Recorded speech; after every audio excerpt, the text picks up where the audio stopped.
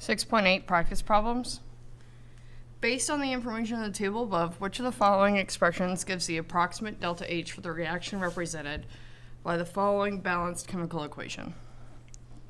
So I can see that the delta H of the uh, iron 3 oxide is a negative 826. I can see the carbon monoxide, we have negative 111 iron we have zero, and then carbon dioxide we have negative, uh, 394. Okay, uh, so we are going to be doing uh, products minus reactants here. And we do need to multiply by the coefficients. So I have two irons, I have three carbon dioxides, and I have three carbon monoxides. And I will match uh, that to each of these. So uh, option choice A is going to be eliminated because I don't have any of the coefficients present. And I can also eliminate option D for the same reason. Uh, then the difference between option B and C, this is uh, products minus reactants, this is reactants minus products, and we are dealing with uh, products minus reactants. So option choice B is going to be my choice. The enthalpy change for the reaction below is negative 860 kilojoules per mole. Based off of the standard enthalpies of formation uh, provided in the table, what is the approximate delta H of formation for uh, the iron 3 oxide here? So um, we know that um, our net is going to be negative 860, and so we can go ahead and uh, figure out uh, what's going on um, with all of them relative. So uh, we have the 1680 here, um, iron being zero and aluminum being zero. Okay, so we have uh, products minus reactants. And if I need it to still be negative, that means that my uh, reactants amount needs to be uh, negative so that it the double negative turns into a positive. And then um, I just would see what plus 1680 would give me approximately um, uh, negative 1680 would give me approximately negative, uh, 860, uh, and that would be option choice D. So that's going to be uh, my answer. Uh, the reaction between water and carbon is represented in the balanced chemical equation above, based off of the enthalpy change of, of the reaction.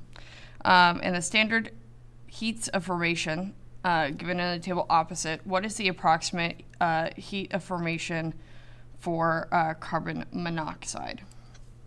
So um, I know that my total uh, delta H is going to be positive 131, and we know that we have products minus reactants. And so um, our products here um, are, uh, we have the hydrogen with a zero, carbon with zero, and then water with negative 242. Again, it is uh, products minus reactants, so um, I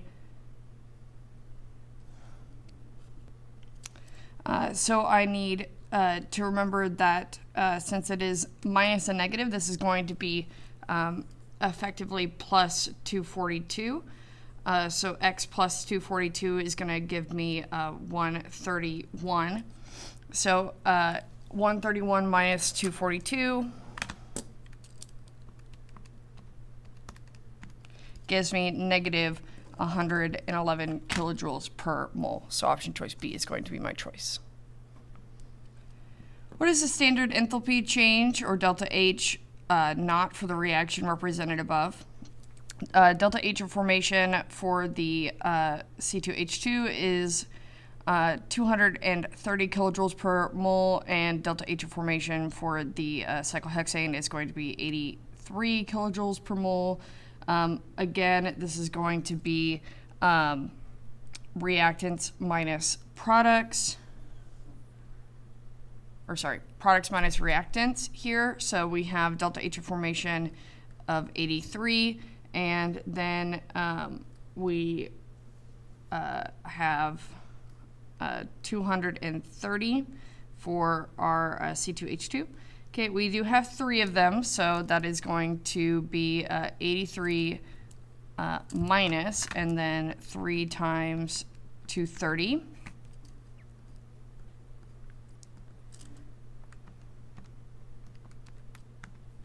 Which gives me negative 607 kilojoules. According to the information above, which the stand, uh, what is the standard enthalpy of formation or delta H formation for uh, ammonia at 298 Kelvin? So we know that the uh, delta H is uh, 92 uh, kilojoules, and this is the uh, total delta H. We also know that these here are going to be zero since they are elements and we have uh, two moles here. Uh, and so this is going to be divided by 2. And then since uh, we are asking for the reverse um, of this reaction, we are going to inverse the charge here. So um, I'm going to go ahead and get rid of anything that is positive, and then we know that we are dividing it by 2. So that leaves me just with the answer choice B um, as my uh, choice there. If standard molar heats of formation for ammonia uh, and gaseous water are negative 46 and negative 242 kilojoules per mole respectively, what is the delta H for the reaction represented above? Okay, so we have um, uh, standard heats of formation for ammonia um, at uh, negative 46. However, this is uh, the heat of formation, and we are going in the opposite direction, so that's going to be positive here, and then I have 4. Um, oxygen and nitrogen are both going to be 0 because they're elements, and then water is going to be uh, negative 242, um, and that is going to be multiplied by 6 there. So, um, and we are going to have products minus reactants. So 6 times uh, negative 242 gives me uh, negative 1452, okay? And then